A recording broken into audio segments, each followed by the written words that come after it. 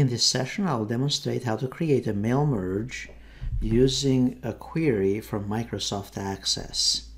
In order to create a mail merge, we can either use a table in Microsoft Access, an existing table, or we could use an existing query. So in our case, we are going to first create the query, and uh, then we are going to create the mail merge.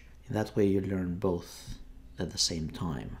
So we go here under Create, go under Queries here, Query Wizard, and then Simple Query, OK. And then we're going to go under Customers, and let's say we want to use a customer ID, customer first name, last name, and then let's say the email, and also let's go under the contracts table, and we'll get the contract amount, and then the contract type as well. So we are just creating a query at this point with those fields from two tables. We click on next, click on next, we give also a name to this, call it, and then click on finish. So the data is here at this point. Now to create the mail merge, we can do this two ways. We can either create the mail merge directly from Microsoft Access, or we can go to Word first and create the mail merge from there. Or the other option would be to dump this data into Microsoft Excel and then do the mail merge from Microsoft Excel.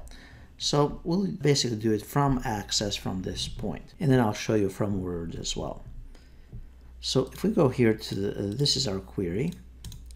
And then we go under external data. Notice you also can right click. So we have our query here and then we go to external data and the other option here is to actually create a word merge. So word merge, it says you specify the table and you create a mail merge wizard through Microsoft Word. We click on Microsoft Word merge here.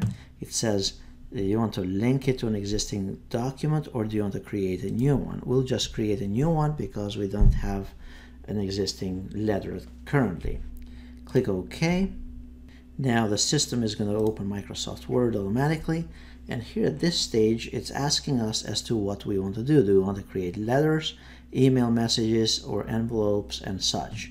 Once we are in Microsoft Word, here we type our letter. We could say dear and then insert field, we put first name, comma, and we basically just type our letter and then every so often in our letter we can actually in include here various fields from our access table. Basically we type the letter here with incorporating the fields that we have in our access database. So here we could use their first name, last name, we could use their contract amount stated somewhere and then a contract type. If we needed more fields, then we need to go and customize our query from the Access database. So for now, I'm just going to put the amount and the type here. So we say, thank you for partnering with us to meet your needs with the recent contract. And the computer will put the amount in there.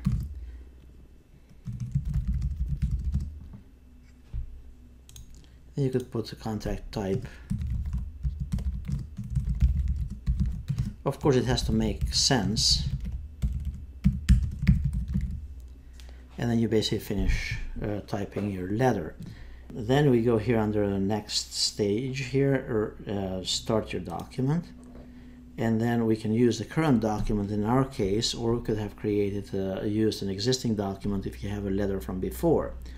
Then we go select recipients we'll use an existing list and then we'll select the existing list here which is basically a customer query for mail merge. So we don't really need to select the list. It's already selected because we, we started the mail merge from Microsoft Access. So that's how it's linked automatically there. Now here we write our letter which we actually just did earlier. And then it says here preview our letters. Notice dear Owen and then contact one and then this was the contract and then the next step here is to complete the mail merge. So we click on complete the merge and then edit individual letters then click OK here. Now here we can see all the various letters from that mail merge from that specific query. Now keep in mind this, you don't need to modify. If there is something that uh, needs to be corrected and such, you need to actually go back to the database and change the information in the database and then rerun the query. The beauty of, of this stuff is, and I'm going to close this mail merge results at this point, so I'll say I don't need to save the results, but um, the beauty of this is that is that if I save this form, and this is the form actually that typically has the codes and all that stuff linked to the database, if I save this,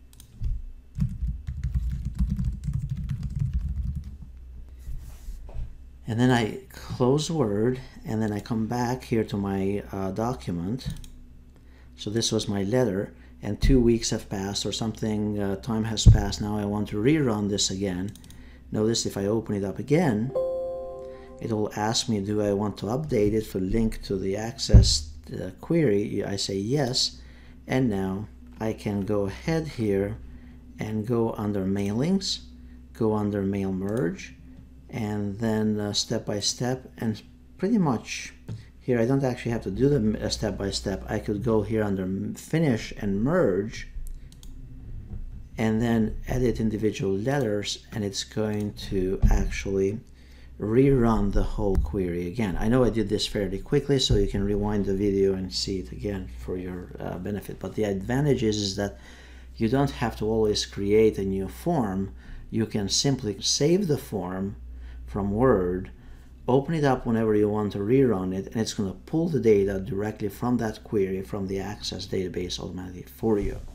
So this was the way how to do a query from Microsoft Access into Word.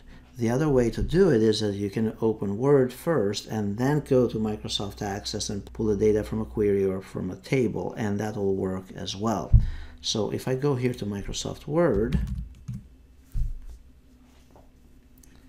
and I open a new document here and, I, and uh, then I go under mailings. I go under start a mail merge and I'd recommend that you use the mail merge wizard here.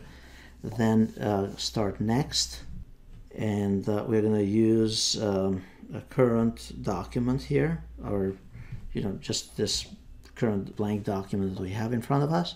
Next here we're going to select the recipients now notice it doesn't link automatically to our table into the database, so we have to actually go in and link to it. So if I click here on browse, now I need to find my database where I have it and double click on it and now notice it lists all the tables and the queries so you can actually do a mail merge from actual tables or from the queries within a database. Now I click OK here Notice it shows all the uh, records here, including the fields that we had selected as part of that query. We could filter and sort them if we wanted to do that furthermore, but for now we're not. Then we're going to write the letter and we say dear, and then insert field and we say first name, space, last name, and then write the letter with the various fields. So I put the amount. So basically you're just putting the actual fields that you want to use. Of course this I'm doing this fairly quickly here for the sake of time. You could put additional comments and then you can preview those letters. So this is how it's going to look. Thank you, uh, dear Owen. Thank you for your contact type and such and such, residential, number one and, and so on and so on. Next, you click on here on complete the merge. Then you choose edit individual letters. This just gives you an idea as to what they're going to look like. So right now we have five letters that have been generated automatically. So that's how that works. Now the other thing that you can do is from Access or, or from Word, you could do also email merges. So if I go here to my customers, notice uh, customers table has an email field. So I could actually do an email merge for those customers and I could either create a query that includes those email fields or I could use my customer table for uh, this purpose. So if I wanted to send them contact information and all that stuff, which is in a different table, then you'll need to use a query and you need to include the email field in one of those queries. Uh, for the sake of time, I'm not going to create a query for that at this stage, but I'm just going to use the table customers, which has already a field with email in it, and we'll create an email merge. So as I have opened here the customers table, and I click on mail merge or word merge. So here's customers, word merge, and then it's asking us, do we want to link to an existing Word document or create one? We want to create a new one. So basically you're going to write the email in Word and then it's going to use Microsoft Outlook to actually deliver the mail. So it's important here as well that the third piece of this puzzle is actually to use Microsoft Outlook and have Microsoft Outlook configured to be able to receive and send emails as well. So now notice Microsoft Word has been opened here in the bottom. And then we say, okay, I want to create email messages here. Then I say next here to start the document. Then it says, do you want to use the current document or do you want to use an existing document? So we'll use the current document, which is right here.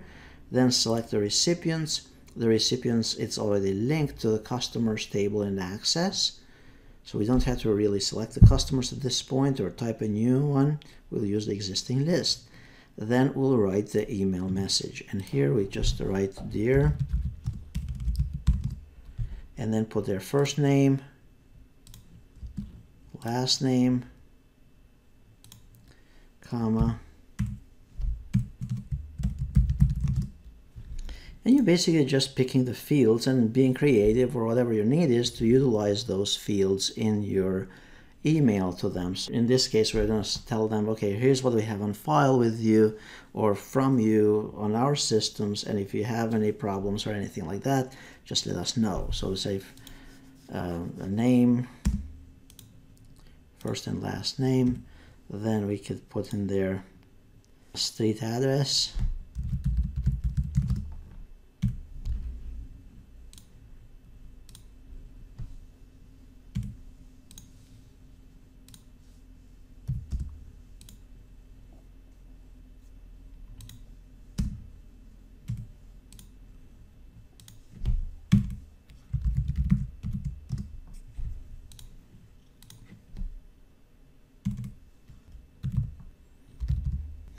And you basically format this a little bit nicer if you'd like.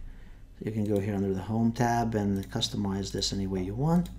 And so next you click on preview your email message. Then you complete the merge next.